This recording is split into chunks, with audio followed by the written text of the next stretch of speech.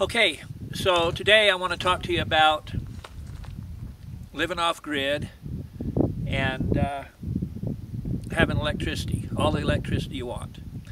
So uh, a lot of my neighbors out here, we're all off grid and and uh, some of them, you know, they wanted power from the power company and the power company in some cases want twenty, twenty-five thousand dollars to connect. My one neighbor already had power poles crossing his property that was going to an oil well, and they wanted uh, $18,000 for him to connect, and uh, the power was already on his property. So, uh, you know, they want you to get hooked into that perpetual debt, which uh, they'll send you a bill even after you're dead. So you can never pay it off. It's a, it's a perpetual debt that you owe even after you're dead. That's what happens when you connect to the utility. Now, a lot of people come to me and they say, well, the power company wants $30,000 just to connect. So what can I get for $30,000? And I say, well, for $30,000 you can get more power than you'll use in your lifetime. And it'll be paid for and you'll own it and you'll never have a bill to anyone ever. And they're like, wow.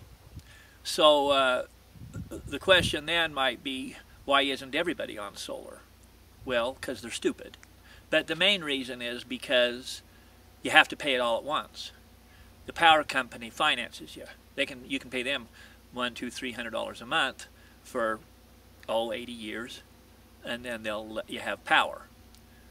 So uh, that's quite a bit of money, you know, two or three hundred dollars a month for 80 years. You know, you can calculate that out and and uh, if you had that money to retire on, you'd be living pretty good. So uh, it's pretty well you have to be stupid to connect to the utility. Now in town it's convenient and that, but of course in town you buy a square inch of land for $100,000 and out here you can get a mile, square mile for that kind of money. So uh, land out here, if you look around and you know uh, do your due, due, due diligence, you can probably find land for one or two thousand dollars an acre. Right over there is a nice view of the lake. You can't see it, but uh, anyhow, so solar panels. There's I got this one little rack right here, and uh, uh, then I got some solar panels up on that roof, and I got another one over there on that roof, just a single over there. And uh, so I have all the power I want. I can run air compressors, I can run refrigerators, uh, I can run whatever I want to run. And in fact, during the day when the sun's shining, I got far more electricity than I'll ever use, ever. Now at night, I store my electricity in batteries, which uh, lasts all night. And of course in the morning, the sun comes out. This particular area is good for wind and so wind generally blows when the sun isn't shining, so that complements solar really well. But uh, I'm going to be making more of these videos, and you can uh, go to the link at the bottom of this video and get more information. Uh, there's federal incentives. Uh, right now, the federal incentive is 30%. So if you spend 10 grand, you can take uh, $3,333.33 right off the top of your taxes. Of course, there's state and local incentives also, so uh, you know you can, and so that makes it even better. And uh, so one thing about solar is you can start really low. You can start uh, with a thousand dollar system and have electricity, and then uh, maybe all you can run is your computer or television or something charge your phones, but you'll have electricity. And you can add batteries to last longer at night, and you can add more solar panels to get you, and you can add those things anytime you want.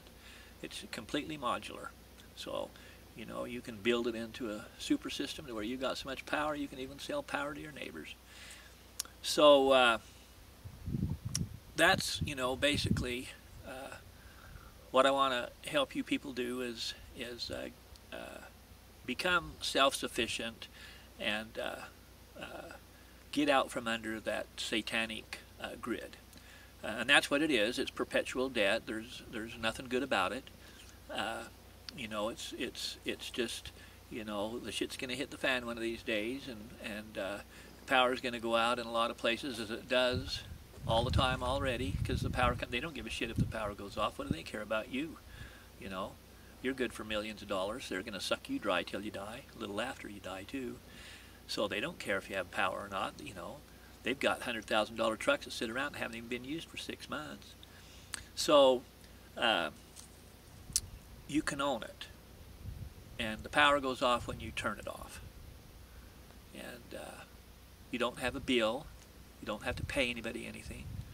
Uh, solar panels don't wear out. There's no moving parts, so in 650 years, your grandchildren's grandchildren's grandchildren can still be using the damn solar panels. so, of course, there'll be something better by then, but thing is, you don't have to pay that perpetual debt. If you just get your pencil out and you look at what $200 a month is for 80 years, it's quite a sum. So, uh, uh, if you like this video, then uh, click on like and uh, can follow me if you want. I'm going to uh, be doing more and uh, we'll see you next time. Kill it. Bye.